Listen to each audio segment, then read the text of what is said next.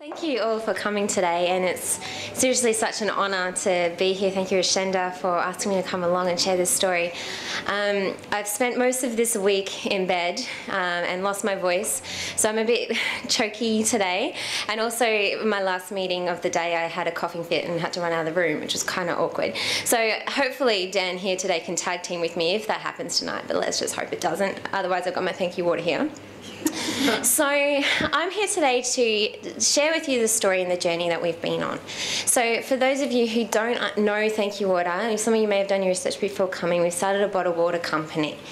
Now, basically this is all come coming you would have seen this on the invite. When i was um, about 14 years of age i had the opportunity to go to indonesia.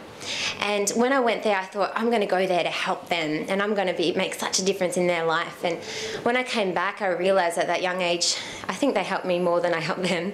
I think they showed me so much more and then i realized when I grow up, whatever I do in my life, I want to be able to do something to be able to give back to them.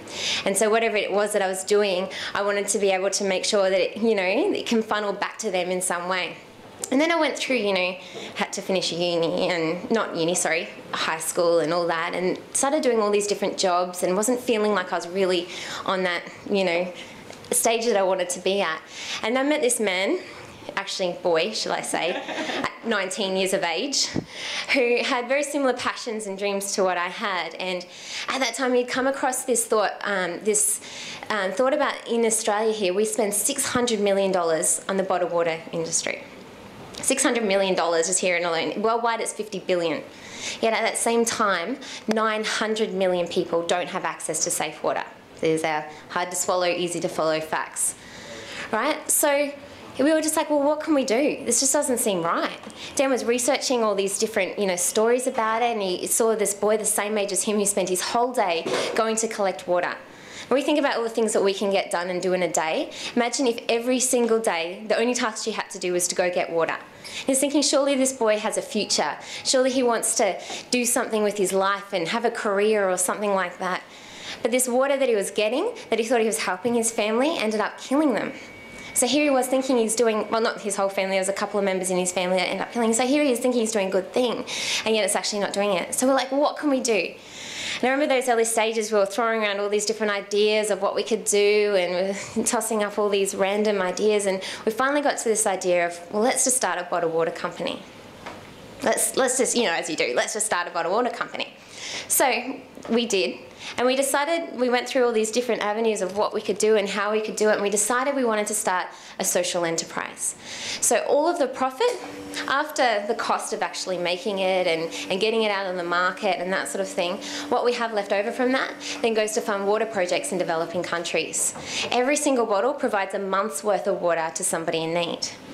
Now, it's actually a bit awkward today that Dan's here. This is the first time he's ever heard me talk.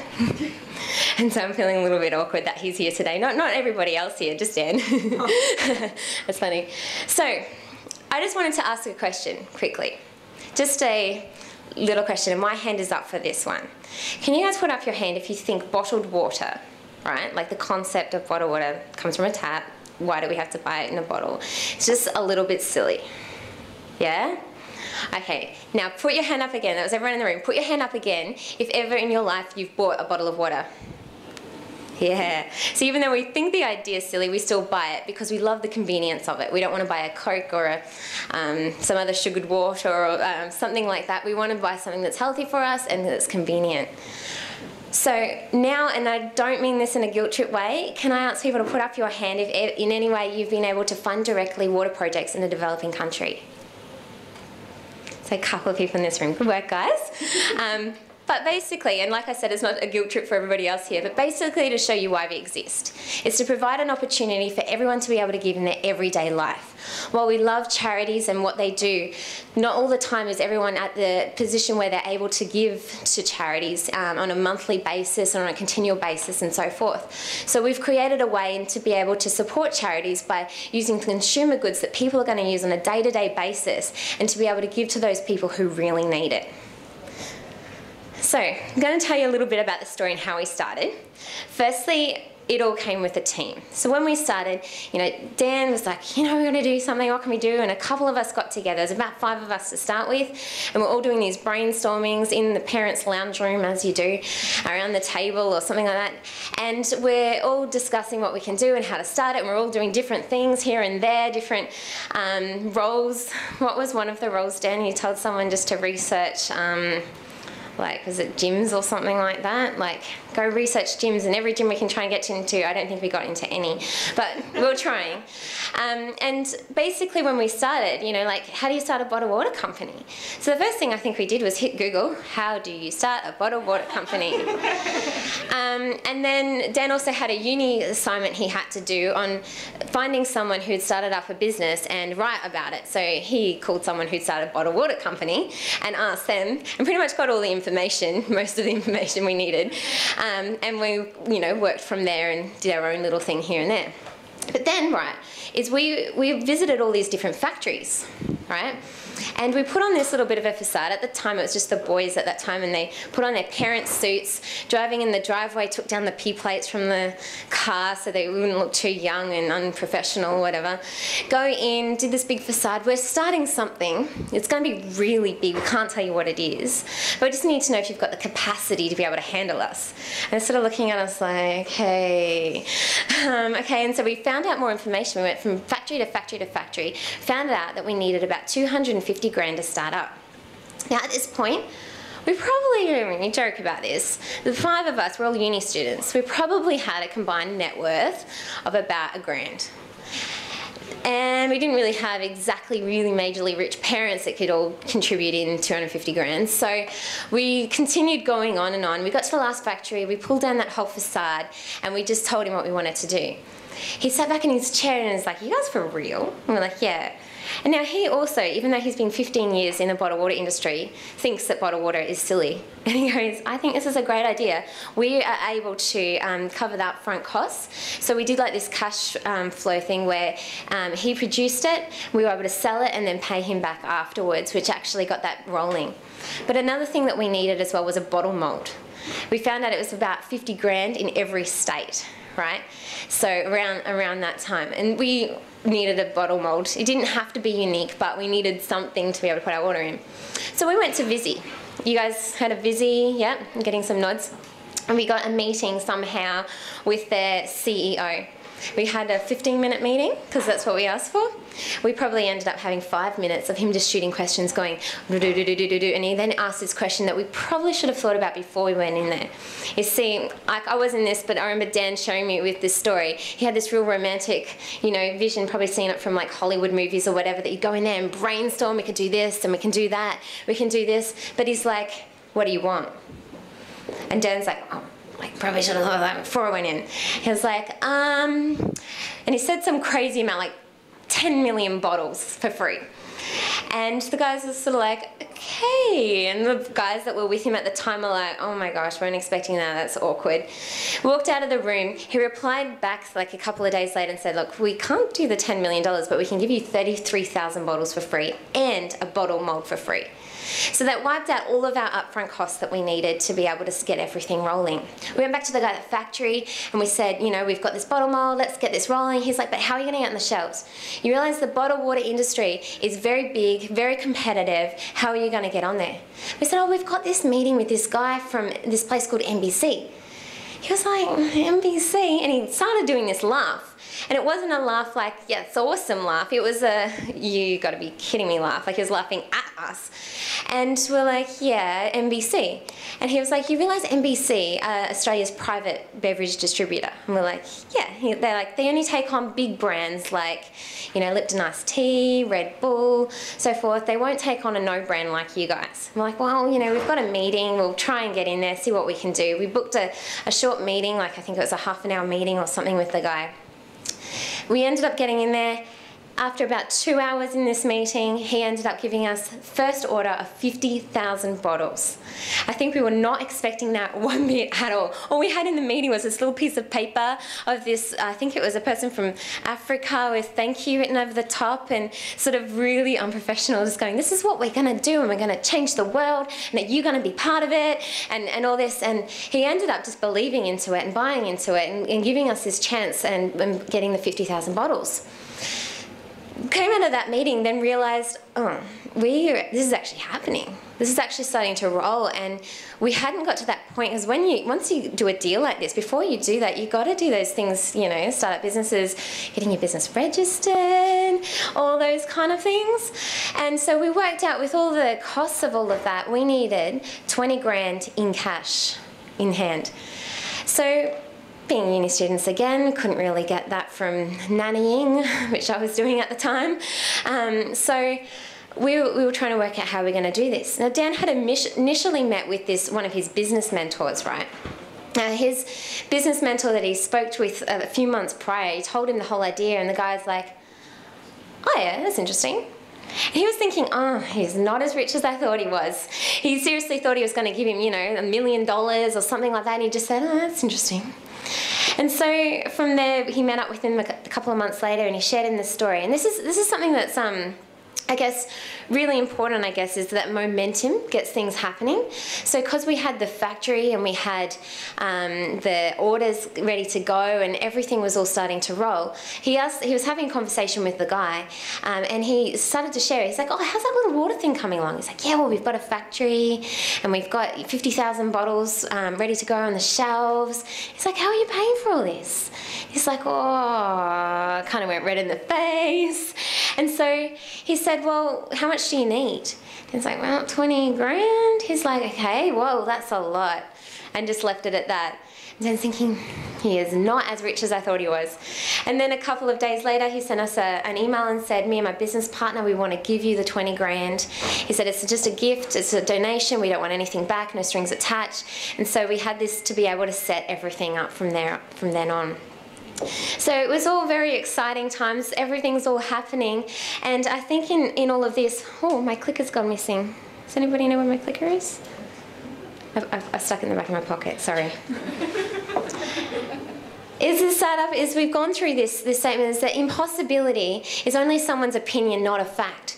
See, when we had started all this, there's even that business mentor at the beginning was like, oh yeah, well, but oh, but what about this? Oh, you guys probably should finish your uni degrees first and then get into what you're doing, or you should maybe wait till you got a lot of money behind you first before you can do this. And you get so many, when you want to start something, you get so many people just want to try and shut that down, you know, or try and say their opinions and that sort of thing. And I think you've got to realize that when you want to actually go and do something, it's only someone's opinion, is impossibility is only someone's opinion. It's not a fact. All right, the next thing was, oh, this is the first run of bottles that we did. That's one of the other directors showing off all the bottles. And first run, and then we step into the realities of business. So this is where we come across this. Success can be defined as the ability to turn stumbling blocks into stepping stones. And this is where it started to get a little bit tough going back to this one here, is we had our, one of these pallets, right, delivered to a Dan's parents' garage, and we were so excited. First run, this has actually happened. We're pulling it off the pallet, going, oh my gosh, this is exciting. I'm watching the guys' faces, they're pulling it off, looking at this has become a reality. Next minute, I'm seeing their faces just drop. Like, what is going on? The bottles, right, the labels around the bottle were scrunched up all the way around to the point where you couldn't read it. And we were like, this is not good. We had to call that guy from NBC, that one that only takes on big brands. Had to give him a call and say, um, so this is what's happened. And he said, um, do you realize that you're asking me to do a national recall? Like, yeah. He's like, do you realize that that destroys big brands? Like, yeah. Do you realize that I don't do second chances? like, mm. and then he said, but I will this time. And lucky for us, he gave us a third and a fourth and a fifth because this factory kept having issues like this. And it was quite quite difficult and quite here we are just trying to do a good thing we're working our side jobs we're doing our uni juggling everything trying to make this work and we're having all these issues we get to the point where we're able to grow enough to get 350 customers around Australia. We had a new distributor in Queensland. We're starting to really take off. Then all of a sudden, this factory decides that they weren't going to produce for us for about five weeks. Five weeks may not sound long, but it meant that we lost 300 of our 350 customers. It's at this point where we were just like, what the heck? Do we just high five one another, go, yeah, we built a well, and just leave it at that? Do we just like go, you know, like we tried, we're making it work, it doesn't really seem like it's working? However, around this same point where we're going, what do we do? We got this factory approach us. They came in, by this time we had this little tiny office at the back of somebody else's office. It's like this little room where we're all squished in. And um, they came to us and said, can we do a presentation? So we used the, the boardroom of this other business and they did this little PowerPoint presentation for us. We're like, what is going on? Someone's pitching to us this time. And they're doing this presentation and they're one of Australia's leading private um, bottling factories. They smashed this factory regarding the quality of, of water, quality of um, the product in regards to the um, ability to be able to distribute, the capacity, the price, the environmental side of things. In every single way, they were beating the other factory and they were wanting us to go to them. And we were like, oh, look, I have to talk to our board and get back to you on that. And so the next day, we could not wait to pick up the phone and say, please, yes, we want to come on board with you guys. And that's when we started to take off again. And we did a new relaunch. Sorry. With the new relaunch, we actually had a, a distribution company in um, New South Wales. They promised the world, they said um, that they were able to get us into 2,000 outlets around Sydney. We were like, that is amazing incredible. 2,000 times anything on a calculator is a good number. And so we'll, we'll do that. So we send off a, um, a truckload, literally a truckload of water to them. And then we're waiting for the invoice to come through and we're waiting and we're waiting. Then we got a letter from a um, solicitor telling us that they had actually gone under and they owed us about 20 grand. And we were like, you've got to be kidding me. As a startup business, cash flow is really important, plus we need this 20 grand can go a lot further, you know, um, than into nowhere. So we we ended up getting that back over a year, but it was still very hard for us at that at that time and, and situation, especially as we're trying to take off again to all of a sudden have this knockback.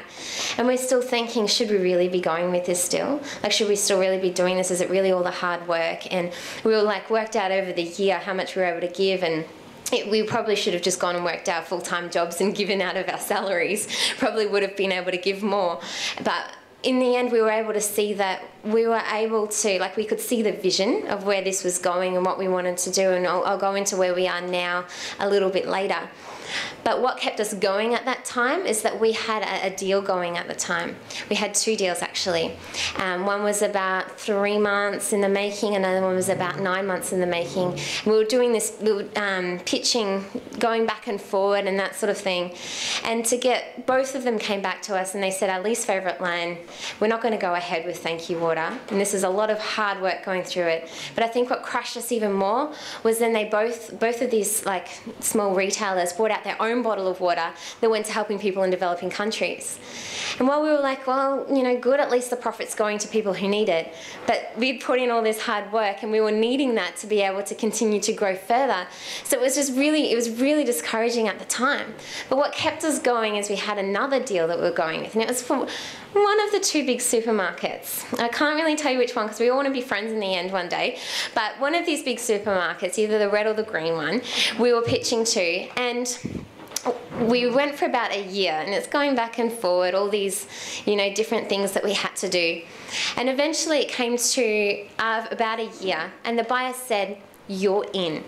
We were like, what? He said, you're in, you're in, you can bank on it. I, I promise you, you can bank on it. So like, this is awesome. We started to a little bit of celebration. This is exciting. Wait a couple of weeks for their first order to come through. Dan was like, we've got to pick up the phone. Where's this order coming? Calls up, picks up the phone, and a new guy answers. And he's like, oh, where's the old guy? He's like, oh, he's been moved to the broom section. All right, cool, I'll give him a call. Gave him a call. He's like, oh no, it's okay, Dan. I told the new guy all about you. You're still going to be in. No worries. No problem. We call him up and then all of a sudden he's like, nah, I'm in charge now. I've got my big brand, I've got my home brand and I don't want your whatever water. And it was another crushing moment. It's like, what? Is no one seriously getting on board with this? And I've just realised I've forgotten to keep track of the time. We're good? What are we up to? so the next thing from there was. Um, uh, you know, this crushing thing, but what kept us going is we were working with a big retailer. We had to jump a lot of hurdles. We worked out with this big retailer they were able to help, figures correct, Dan, about 60 to 90,000 people per year through the volume of water that they would have gone through. So we jumped lots of hurdles with them. We jumped like seven different hurdles. The last one was price point, beating the competitor that was already in there.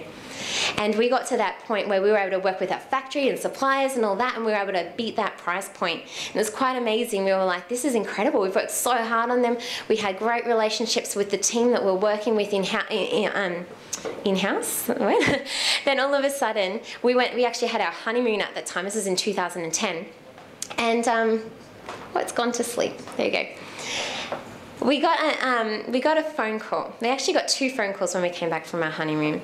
And should I just say, just after our honeymoon, we went to Cambodia. Um, just afterwards, and we got to actually see the project that we had funded, and we got to see these stories, and I'll go on to that a little bit later down the track.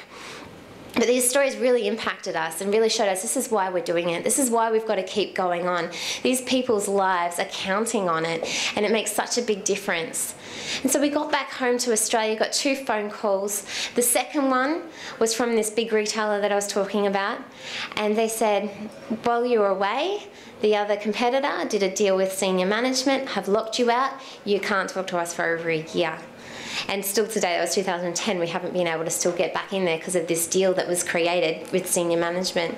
They just, you know, smashed some money on the table or whatever and locked us out. And it was at that point we were like, you've got to be kidding. Uh, like a year of working with this, we've gotten so close. It's got to help so many people. And just because of this money situation, it's really been knocked out. But the first phone call that we got was a very exciting one. We actually got this phone call from Australia Post. Now, we had pitched to them in amongst all of this chaos that was going on, and um, they said, Look, probably don't bother pitching. We have a policy where nothing that goes in your mouth goes in the store. It's been there for about 150 years, it's not going to change. We said, Oh, look, do you mind? Maybe we can come and chat with you anyway. We did no presentation, we literally just had a chat with the guy. He said, You know what? I'd like to see this policy changed. Maybe we'll see what we can do. A couple of months later, he gave us a call and said, We've got a new CEO, we're putting forward to changing the policy, maybe you can come in. Now, all the big players out there, all our competitors would have paid so much to try and get in there to be able to actually have that position and have that promotion in there. They have about a million people come through their store every day. I mean, how many people here have been in the Australia Post queue before and you're just like sitting there for ages? So it's actually right in the queue now. And they rolled, they did an initial trial and now they've rolled us into all 850 ish, probably growing outlets around Australia. So it's now even in the rural areas as well. So that was very exciting for us, and, and um, I think in amongst all of these knockbacks, it was a little, you know, glimpse of excitement. But also, um, what I'm just going to show is before I go on to the next stage of the journey, the exciting bit, I wanted to go back to our projects trip that we did in Cambodia.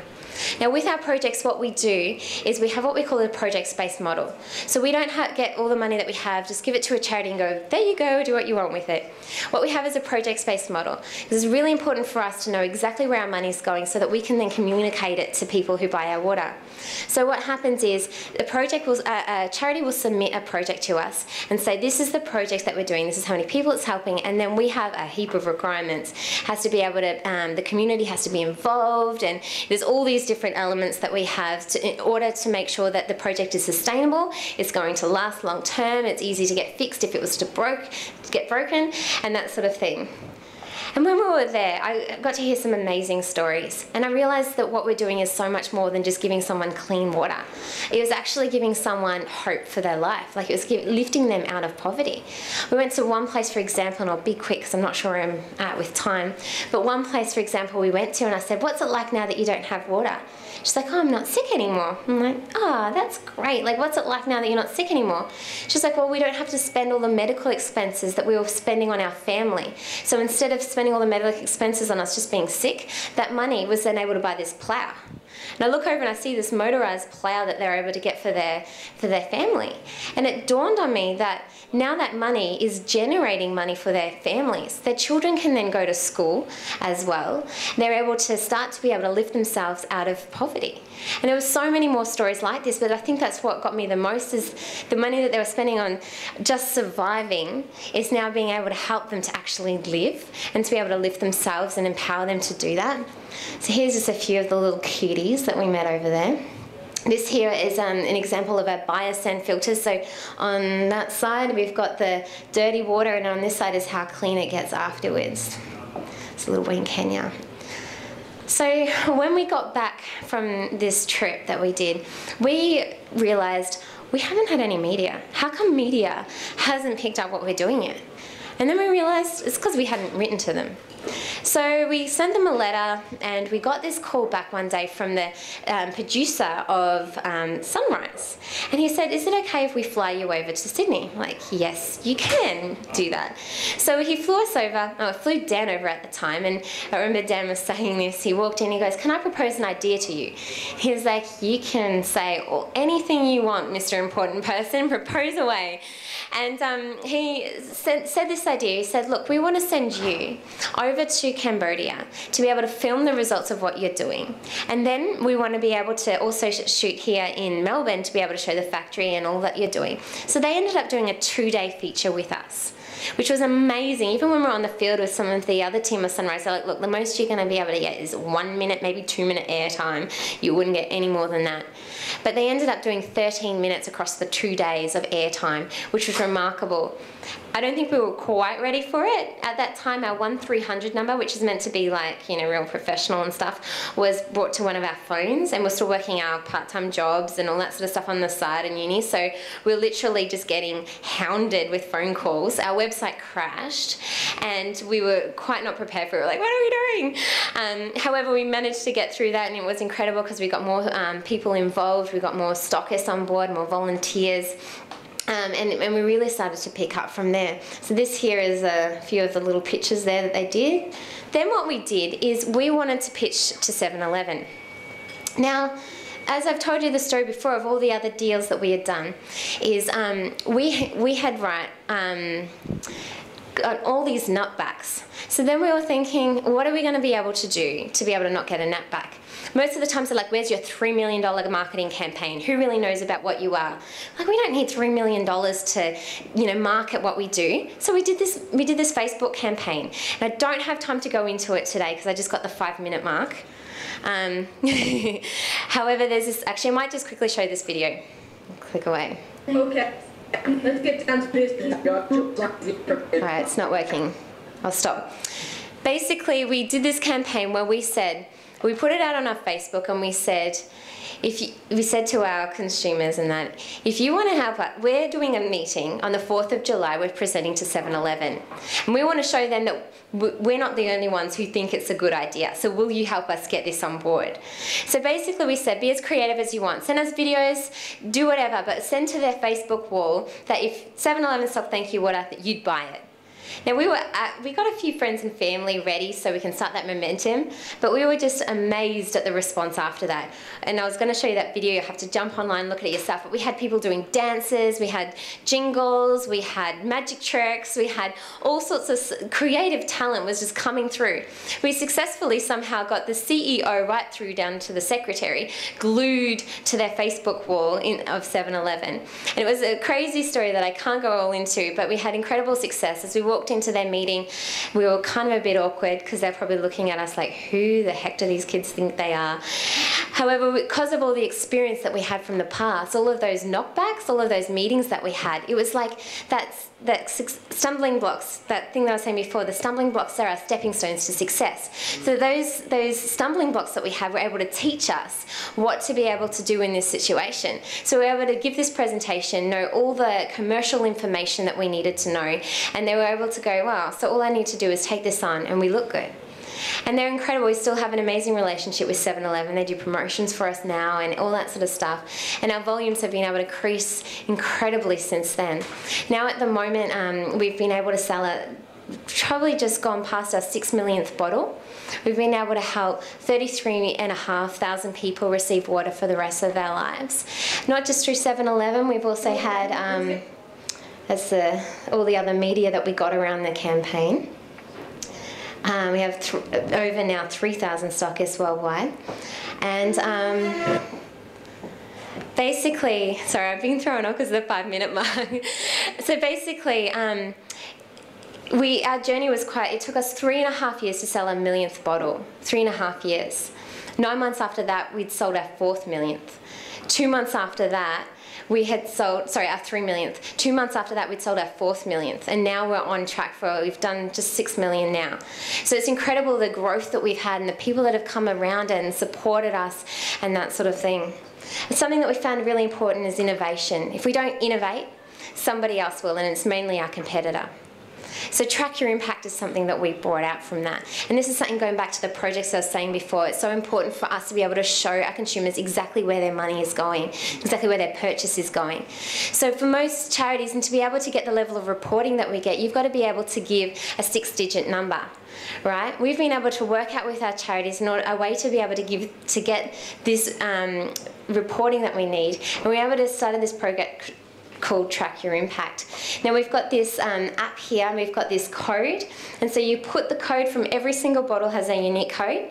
You put that into your app and it will be able to track it back and show you, I think I've got on there, yep, GPS coordinates, where it is exactly, what project, um, what solution it was, how many people are impacted by the overall solution, and just be able to show you. And then my favourite part being in marketing is that you can then share your impact. So you can, you know, just click the little button at the bottom and it will show your friends and your family and so forth on social media that you bought a bottle of water and just helped this village in this place and this is how I've done it. So it's pretty incredible um, that we've been able to do this and it's been a lot of hard work um, getting it all together, working with, you know, our web developer and working, who's put it all together and then also working with, um, you know, our projects team and getting it all together, but we finally got there with that.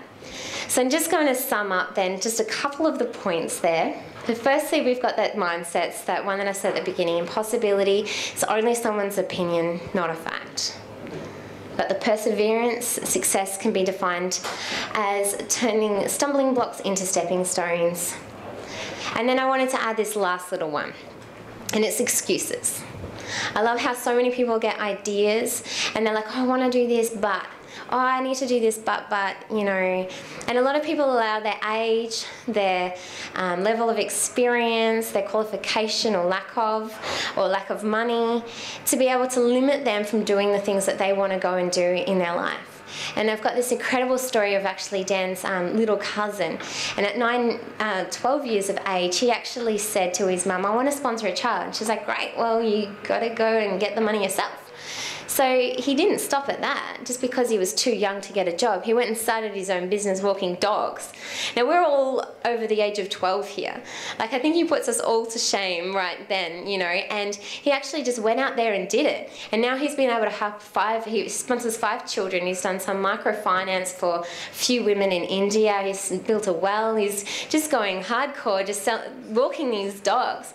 But what comes with that is another thing that sometimes we forget when we start something like this and something that we definitely learnt along the way is with a lot of these things, it also takes sacrifice. And Ben, for example, like I remember when I was 12 years, I'd come home from school and just watch cartoons and eat my Milo, right? He doesn't have that opportunity. He comes home from school, goes straight out dog walking, has birthday parties on the weekend. Look, I can't come, I actually have to go dog walking. That sounds really cool. Um, but he, he allows that sacrifice to be able to do these dreams and to be able to do these things that he wants to achieve in his life.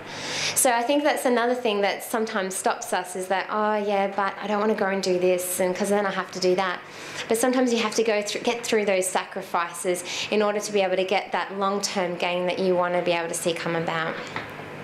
So that's the end for me today. Thank you for listening to me. I'm really glad I didn't have a coughing fit in amongst all of that. Um, hope you're inspired and feel free to grab a bottle of water and track your impact.